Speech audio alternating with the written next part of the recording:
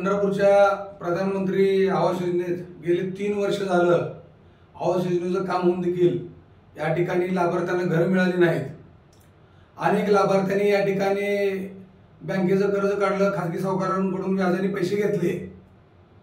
प्रत्येक वेळेस नगरपालिकेने त्यांना सांगितले की दोन महिन्यात देतो एक महिन्यात देतो तीन महिन्यात देतो परंतु गेली तीन महिने झालं कोणालाही घरं मिळालेले नाहीत. अनेक गोरगरीब लोकांनी या ठिकाणी पैसे भरलेले आहेत.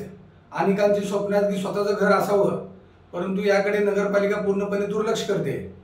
गेल्या वर्षभरापासून महाराष्ट्र नवनिर्माण सेनेच्या माध्यमातून आम्ही या ठिकाणी या गोरगरीब लोकांना घरं मिळत म्हणून वेळोवेळी आंदोलन केले. वास्तविक पाहता स्वस्त घरं म्हणून सांगितलं गेलं परंतु या घरांची किंमत सोलापूर शहरापेक्षाही जास्त किंमत आहे.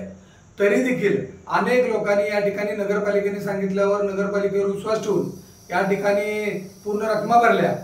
परंतु आतापर्यंत घर मिळालं नाही. आणि नगरपालिकेचे अधिकारी या ठिकाणी उडवडीची उत्तरं देत आहेत. आज महाराष्ट्र नवनिर्माण सेनेचे अध्यक्ष मान्य रावसाहेब ठाकरे यांना मी मुंबई येथे या सर्व गोरगरीब लोकांच्या समस्या संदर्भात पत्र दिलं त्यांच्याशी चर्चा केली.